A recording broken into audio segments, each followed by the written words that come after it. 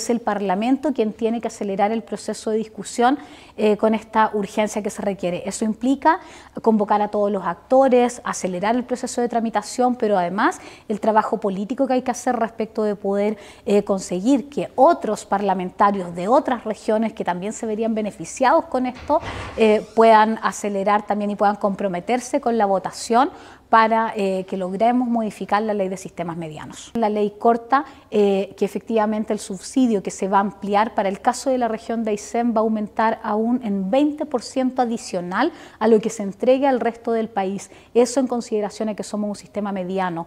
Por otra parte, un subsidio especial para aquellas familias que tienen entre sus integrantes a personas electrodependientes, donde van a poder acceder a 150 kilowatts mensuales de manera que va a ser subsidiado para eh, favorecer además, ¿cierto?, para ayudar a estas familias que tienen condiciones de salud asociadas a la necesidad de la energía eléctrica también.